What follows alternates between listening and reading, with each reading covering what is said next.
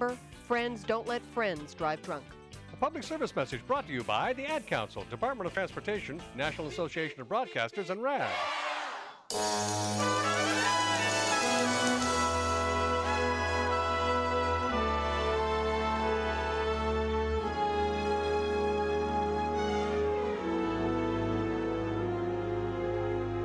I've got the world on a string, sitting on a rainbow.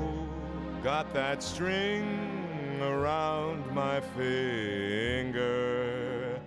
What a world, what a life, I'm in love. I've got a song that I Welcome back, everybody. You're listening to the voice of Robert Davi, actor, singer extraordinaire, and he's joining us on the show today, taking your calls 800 336 2225. 800 336 2225.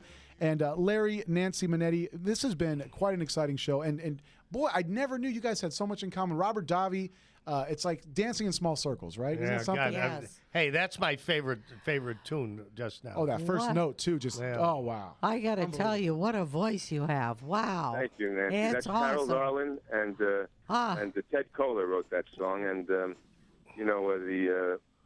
It just I just, I feel like I've been let out of prison doing these, doing this music because as an actor, you can find, you know, as you know, by the part you're playing. Sure. But, it, but in this music, you can use all of yourself, and uh, this has been pent up in me for so long. Well, I'm glad. I'm glad you're out. Yeah. Thank you. What, where, are you, where are you? When are you appearing next in Vegas? Well, first I'll be at the Soboba Casino, August 18th. Uh, I'll, uh, Soboba Casino, uh, you know, that's in Hemet, in San Jacinto. In Uh, Hemet. I, I, I oh, just that's did the, beautiful there.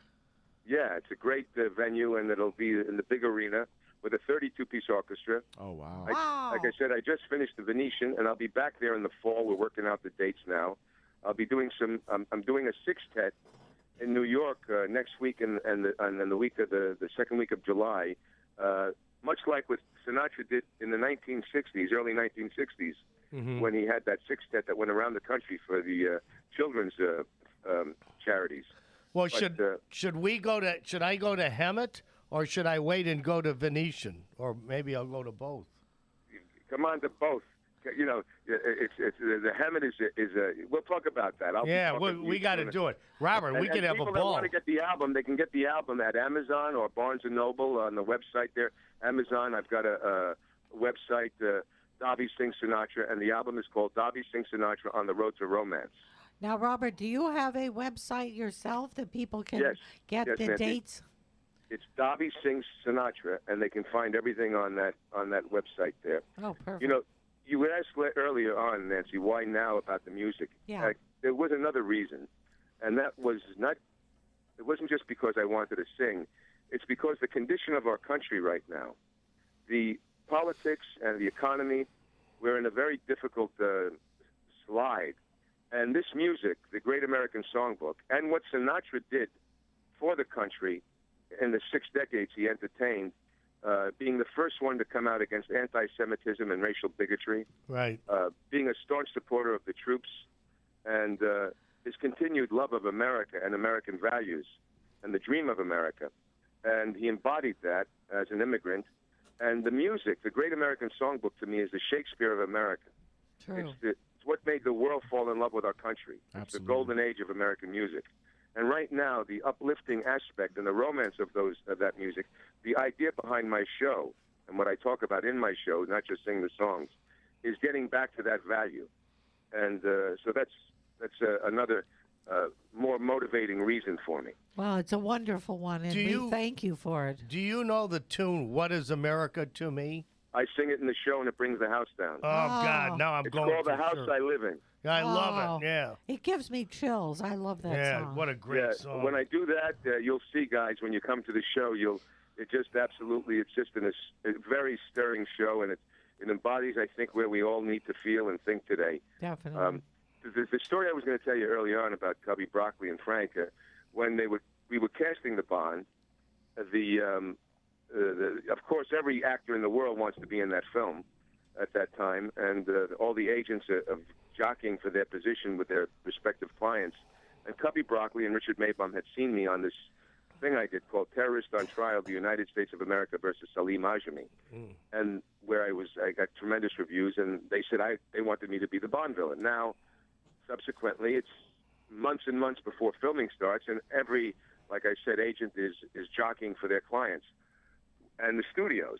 And when it's coming down to the thing, I think you know, Cubby always wanted me, and uh, he and Frank were having a conversation, and they said, "Listen, everybody wants this character, you know." And Frank says, "There's no choice. Give it to the Italian." The Italian. Yay! Frank. Frank liked me, you know. Frank already liked me doing Cherry Street, and yes, I knew Harry Guardino Oh, very well. wasn't he great? Harry was one of the funniest guys. Uh, I, I put him in one of his last films. I did this independent film called Under Surveillance, and I always loved Harry. And I and I said to them, I want you to. I was the lead of the picture, and I said, I want you to put Harry in this film. And Yeah. Frank we got- Frank Frank used to terrorize him. I mean, Well, he- terrorize him. He loved him though. Yeah. oh well, you know what? You know how they, you know how they met No, that I don't know. at Jilly's.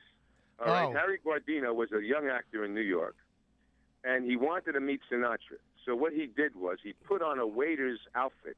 You know those red Right. short yeah. waiters? Yeah. Yeah. He put it on backwards, and he kept getting in Sinatra's way, moving ashtrays and pushing a drink around, putting another plate over there, imposing himself until finally Sinatra says, "What the hell are you doing?" and looked up at the guy, and he sees Harry with the jacket on backwards and a cockeyed tie, and he burst out oh, laughing. That's funny. He, invited Harry that day.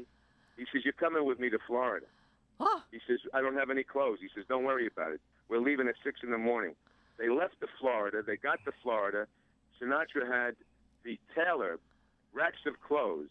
He says to Harry, "Pick out your clothes," and that was their start of their Yeah, friendship. that, that- I did hear that That's story. wonderful. I also heard that Guardino took a big, real high ladder on contract on Cherry Street and climbed all the way up on top. And Frank looked up. He said, "What the hell are you doing up there?" He says, "I want to see how you do it, Frank." Oh, that's Harry was great. great. Harry was uh, uh, a very funny story, real quick. Uh, Harry was in that, str- uh, and and I had about two months earlier. I got fired as a waiter from a from a place uh, in New York, very nice place, still around, and uh, I- unjustly fired. I won't go into that whole story. I, I basically wasn't cheating the restaurant, and the general manager. I didn't know you had to give payola, and anyway, I got let go. So I told this story to Harry on the set of Cherry Street. About several weeks later, there's a knock on my trailer door. He says to me, "Come on, we're going to dinner uh, with the old man." He says he wants to take us to dinner. We get in the limousine. We drive up Link, uh, uh, we drive up toward Lincoln Center. The car pulls in front of the restaurant Fiorello's that I got fired from. I look over at Sinatra and Martin Gables and, and Harry Guardino and Jilly who are in the car. Hey, Sinatra- Robert, hang in there just one second, buddy. We're going to finish the story up. Hang in there. Hang in there. I'm, I'm riveted. I'm riveted. Folks, take advantage of the great deal.